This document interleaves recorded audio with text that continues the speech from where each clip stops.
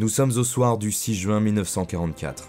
Les Américains ont débarqué à l'ouest de Bayeux et sur la péninsule du Cotentin et progressent dans les terres en direction de Saint-Lô et du port de Cherbourg. Mais cette progression va être ralentie par un terrain inhospitalier face auquel les GIs ne sont absolument pas préparés, le bocage normand et ses pièges mortels.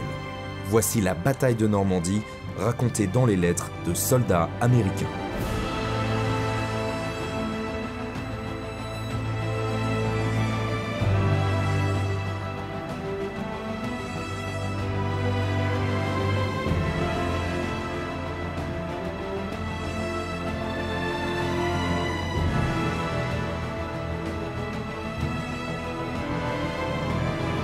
40 ans tombent le 12 juin, et les 5e et 7e corps de la première armée américaine font la jonction entre les plages de Utah Beach et Omaha Beach à la base du Cotentin.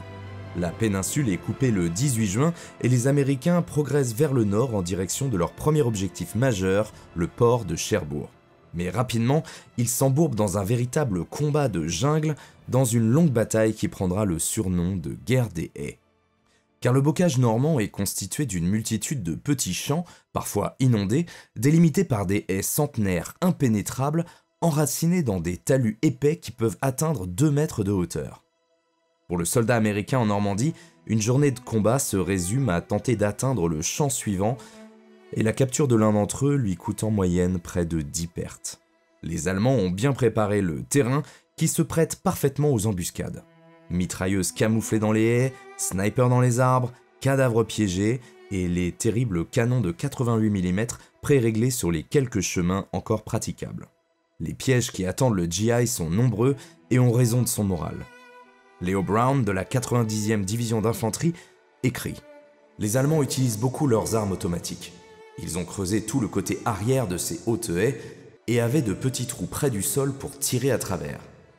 Nous devions regarder par-dessus le talus de terre et eux pouvaient voir par-dessous et être à couvert tout le temps. De là, ils nous tiraient dessus. La nuit tombée, nous avions perdu plusieurs hommes, dont un officier. On nous a dit que nous devions lancer une attaque le lendemain matin à 7h30. Il y avait un petit Italien, un soldat américain, avec moi.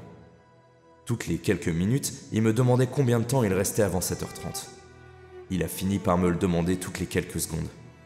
À 7h30, il était roulé en boule au fond du trou en faisant des bruits d'animaux. Je n'arrivais pas à le faire sortir. Été désigné pour l'emmener au poste de secours.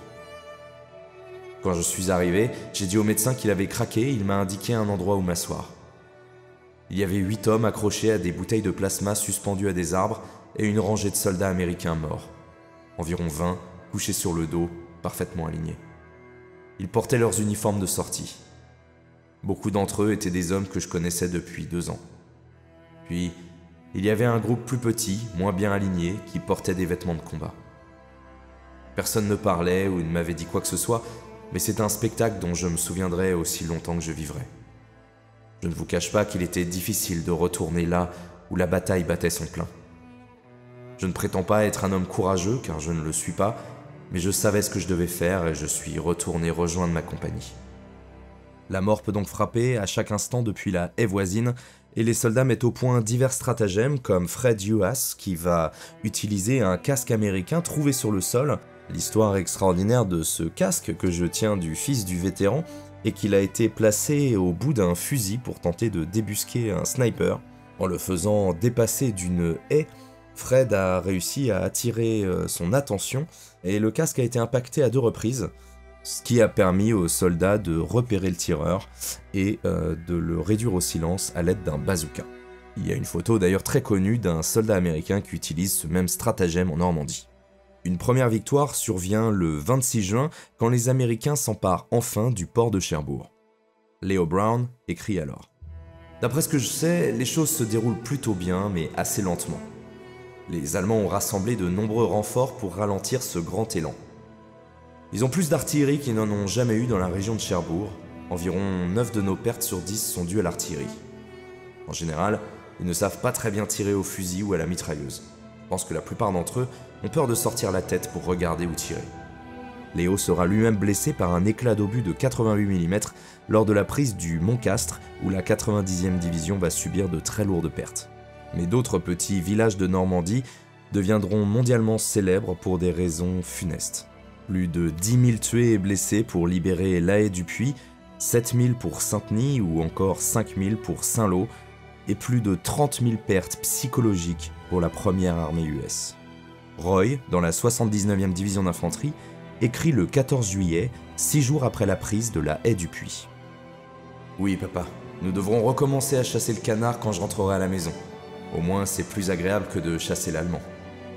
Les Allemands ripostent et ils ne sont pas toujours très fair-play. En fait, ça rend nos hommes tellement furieux qu'ils refusent parfois de faire des prisonniers.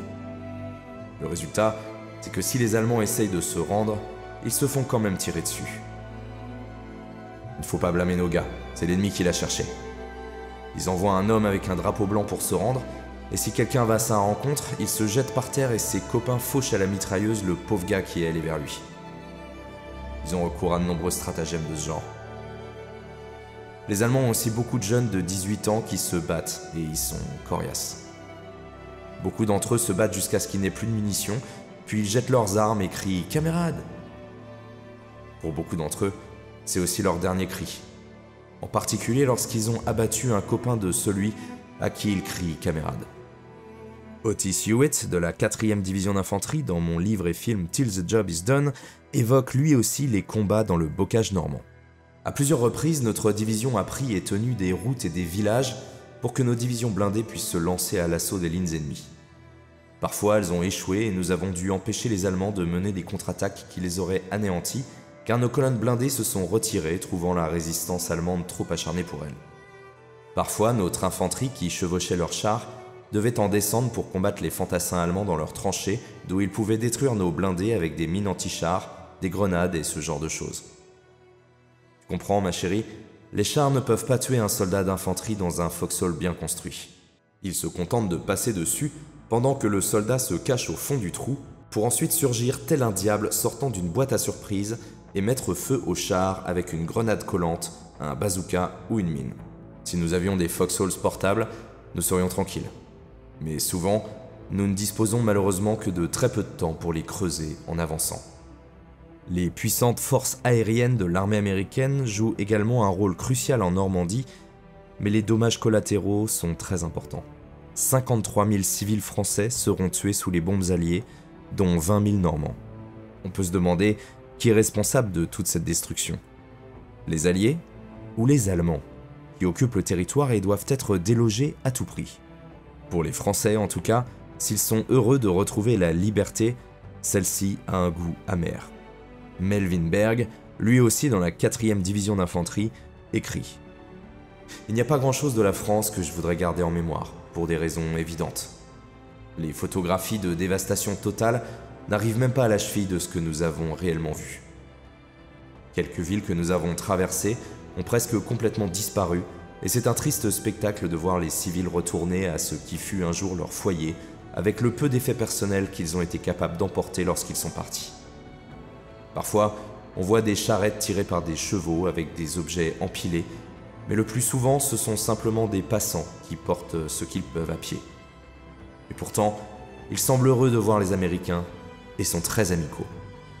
Saint-Lô tombe le 18 juillet, mais les Américains ne parviennent pas à percer hors de Normandie. Le 25, ils vont donc lancer l'opération Cobra, un raid de 1500 bombardiers au nord-ouest de Saint-Lô, qui va pulvériser les défenses allemandes et permettre d'atteindre Coutances, puis Avranches. Voici un témoignage d'un médecin américain à Saint-Lô. Maintenant que j'en ai fini avec la bataille de Saint-Lô, je vais pouvoir terminer ma lettre. Vous savez que ça a été notre baptême du feu. On ne pouvait pas écrire à son sujet à l'époque. La bataille la plus féroce des premiers jours de l'invasion s'y est déroulée. Pendant des jours, elle a été prise et perdue jusqu'à ce que 3000 avions passent au-dessus de la ville et la rayent de la carte. Ça a marqué la fin de la résistance allemande en Normandie. Ensuite, on a bougé et on est resté avec un hôpital général aussi près du front que possible.